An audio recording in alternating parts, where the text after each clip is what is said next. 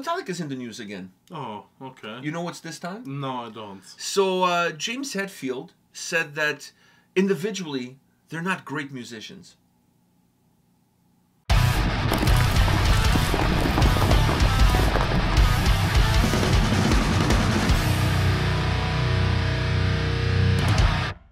Welcome to another episode from Takedowns to Breakdowns with A and P, and we're here once again to go through a little bit of the stories of the week. And there's been quite a few, some good, some bad, and some eh, kind of like I don't know. It could go either way. Okay. It could go either way.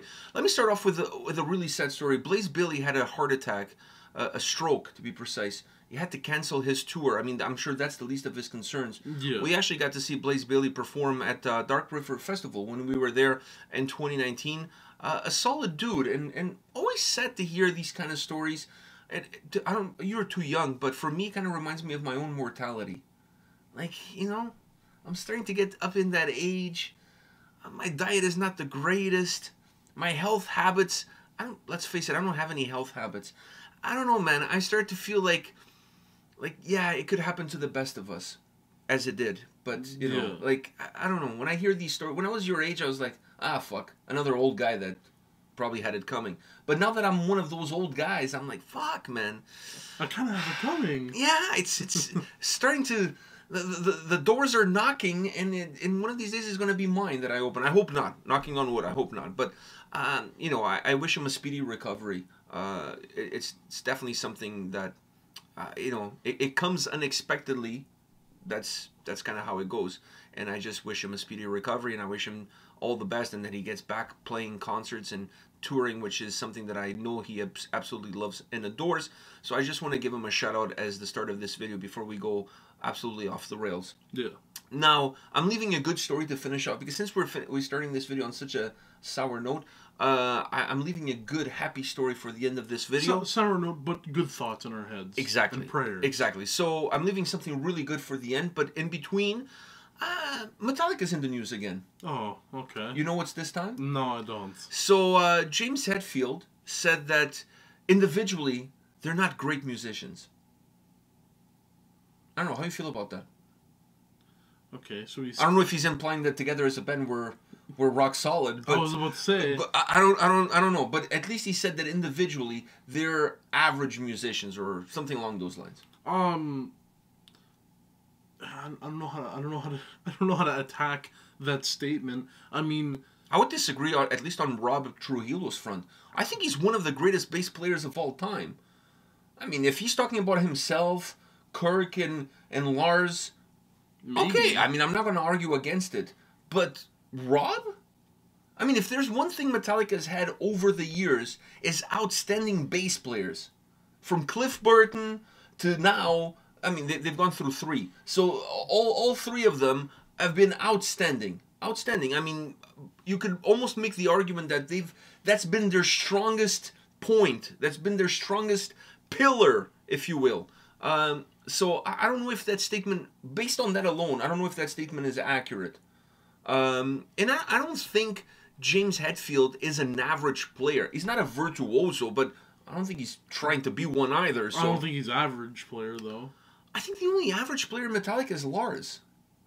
Well, he's the drummer. Okay, so That I mean, but he's not a very good drummer. He's an average drummer. that's what I'm saying. Like he's the drummer of a band where you don't really. He's the weakest link, dude. it's because he's the drum. I mean, you can't. It's not because he's the drummer. It's because he's the weakest link. I mean, yeah. I'm, I'm not saying all drummers because there are drummers. Uh, There's a lot of phenomenal there's a lot of phenomenal there. drummers out there, but the the bands that they're in are able to show off why they're good drummers. Metallica doesn't really do that for him, right? Maybe I don't think he here could and do there, that either. Maybe here and there, but yeah, I don't even think he could. Like to be honest, he's he's a drummer who's playing with like literally the biggest band of all time. I think Wow, you, you you really? I, I'm not disagreeing with you, but I'm just. You, that's a big statement. You you feel like Metallica, uh, in in terms of rock metal music. They come on. I don't know if band of all time, but because I think the Beatles are probably the biggest Okay, band okay, of sorry. all time. Metal related band of all time. I don't disagree with that statement. They're the biggest. They're the I biggest don't. Dis- one. the biggest selling one for sure. Of course. Who else charges seven grand for a VIP? and actually get sales. Exactly. So he's the drummer for literally the biggest metal band of all time. So obviously he's gonna get attention here and there. But if you place him against any drummer that uh, for a band that's not as big or even a band even smaller is not as big, they they'd, just- they'd wipe the floor with him. I agree with that. I, I think comparatively he's not the best drummer. Even as a lead guitarist, Kirk Hammett, I think there's a lot better guys out there. Yeah, but I mean I, I- I'm not saying he's bad. I'm just saying, he's not average. but he's not average. I agree. I think He's out of all of them, he's when when Jim is saying that stuff, I feel like he's only talking about Lars because And maybe himself. Maybe he doesn't see himself as a great but, player. but I do I do see himself. But I think he is. when it comes to vocals and uh, he's not average. no, no, he's not average. I, I, I I've, feel like I've we're, talked to so many. we're measuring something else. I I know, but I, I've talked to so many uh, musicians, specifically guitar players, and more often than not, when I ask them who their most uh, influential guitar players are, James Hetfield is on that list. It may not be. You may not It's be not playing flashy, but- exactly. You may not be playing the flashiest riffs or or the most technical shit, but what you do works. So And he's good at it. and, and you're good at it. So you don't have to call yourself average just because of that. No, you do something that you're good at and that some people can't do. And even when they can do it, they can't do it as good as you. Yeah. So I think really, like I said, the only average person in that band is is Lars. Is Lars. Is Lars. And I don't think we're coming out of the. I don't think this is a hot think- take. No, I don't think this I is think a hot take at I all. think this is a known thing that literally, if Metallica got a different drummer, I feel like the albums would be, uh, if they made albums after adding a new drummer, they would have more drum um, Quality. flares and Flair. and, and, okay, and flair. I quality. like. I like flair. I and, like qua- that. and quality. Okay. Mo- most definitely, they, they definitely would. So I think out of all of them, he is the only a- average one, right? But all of them are, are not average. They're they're very uh they bring to the table what you not I only agree would you, not only would you expect for them to bring, but they do it in a way where yeah, it can be duplicated, but not in the way that they do it. Like you could, I, I think it was just kind of You could- downplaying the being humble yeah, he was being humble. for a band that big to be humble. I don't know about that, I, I, but like he came. He came across. I, I think that was the intention, because I don't think that's an accurate statement. no, I don't think that's an accurate statement. Uh, on the news as well. So you know, there's this show called The Voice. You know, where where people sing and then the chairs turn. yeah, yeah. You know what I mean? People press the buzzer, the chairs turn, and whatever. So there's one for Persia, which I was a little bit surprised because I mean Persia, that's a big area. Yeah, That's a oh, big- It's weird why it'd be called Voice Persia. I I know. I, you would think it would be like I don't know, Iran, Iraq, wh- whatever. their own but- different yeah, but maybe they don't have the funding to have their individual ones. or maybe so some of the countries, uh, maybe they don't want to have their own one, so you just have one for the whole I'm thinking area. Persia, so the the people from those countries that don't want to have, they can still. Or maybe some countries that couldn't have, then can That's what I'm saying. Anyways, so there's one it's for a joint Persia. effort. So there's one for Persia. A deathcore vocalist won. Obviously not doing deathcore vocals, but I think what you what I took from that news is versatility. Yes. For the people that say deathcore is cookie cutter, that Bro, all they do, versatility. All, they do is, is is pig squeals and this and that and that shit. This fucking guy goes on the on the voice. He beats everybody. He beats everybody. And- and he's- let's face it, the songs that they have to sing during those kind of competitions are really like pop songs. Yeah. It's not like it's Well, not like it's he's doing the crowd- latest Lorna Shore It's, song. it's crowd pleasers. Yeah, because when you go there for your first audition, you get to pick whatever song you do. But after that point, the judges are the one picking songs for you. So it's not like he was doing the whole Pain Remains album from start to finish, and that's how he won. But it just goes to show you that within that genre, and in metal in general, but within that genre, There there's are a lot of there's a lot of great vocalists with a lot of versatility. Exactly. I think Will Ramos is one of them. No, definitely. And Joe Bad. I, some of those guys are really at the top of their game, and They can't be touched. They can't be touched, honestly. They, they, can- because they have the range of, of, of being able to do whatever the fuck they want to do. and, and the band that they're in pleases the vocal like the vocal approach to a T, right? If you don't, if you don't, if, Joe Bad, as good as a vocalist he is, if you don't have the guitars a fit for an autopsy, the drums a fit for an autopsy, just the overall experience the fit for an autopsy is, if you don't have that behind him, he's just a good vocalist with a subpar background. But I think they go hand in hand. It's just that the the the technical stuff is able to lift up how good his vocals are. So, do you think Joe or or or Will Ramos could win The Voice? Ooh, Um, I mean, Joe probably. Joe Joe's. I think both could. I think both could because Joe has a good like clean because he he has shown off his clean vocals before. I think he could he could enter, uh, maybe win, but I I haven't heard enough of like pure clean vocals to get that across. I've only heard the clean vocals he's put into the songs, and those are mixed with harsh vocals, so it sounds even better. But I gotta hear him just sing a song with clean vocals to really get that. Like Uh, Sweet Home Alabama. or Blue Hotel. Blue Hotel. I think Will Ramos could do it too. He did a cover of Sleep Token, and I'm, I don't like Sleep Token, even though I'm the singer of the band. Uh, but uh, you know, he, he absolutely nailed it. He, he nailed my vocal range to a T. By the way, I, I'm I'm I'm breaking news here. I, I am the lead singer of Sleep Token, so now you guys know who's behind the mask. So, anyways, he absolutely nailed it. Uh, I'm not putting him on the guest list on the next tour because you know I have a beef with him, so he's not on the guest list. but anyhow, um, so he's shown his versatility as well. I just wonder if once they know who the person is, maybe in North America, if there would be a little bit of a bias from the the judges or even the people or, or in general going forward. I think in some countries, in some parts of the world, maybe that bias is not as predominant. But I think when you're a good singer, I don't honestly. I don't think it matters what your background is in terms of of, But of your North America. music of That's choice. the problem with North America. Like you could the imagine imagine there was like five. Uh, they, they set the people in right to their to the after having the chairs turn around and everything right, and then they find out oh this guy's in like a deathcore band and then they listen to that they're gonna have a, a bias against him because they don't like that type of music. So why have him? And one, he's already in a band, so why have him go? I, I think there's also the thing with with guys like that. Do you? I mean, if you're in a deathcore band, but a deathcore band that's unsigned, I think that's a different story. When you're already in a band that's established, I think that's a little bit more of a gamble to go on on a show like this. Obviously, this guy is in a band that I I assume that not a lot of people know the band. Like I was shocked with this news.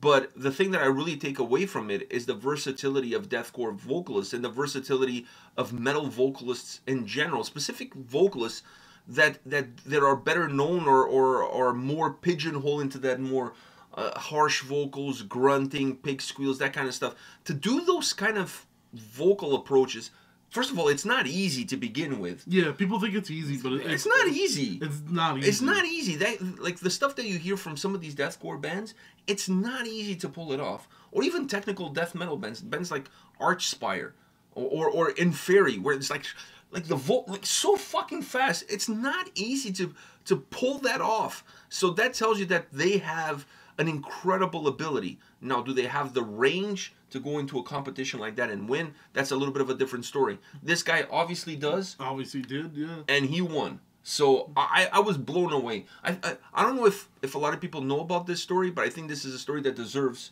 deserves some attention. Yeah, yeah. Fuck, this is fucking cool. You know what I'm saying? Yeah. I I was I was blown away by it.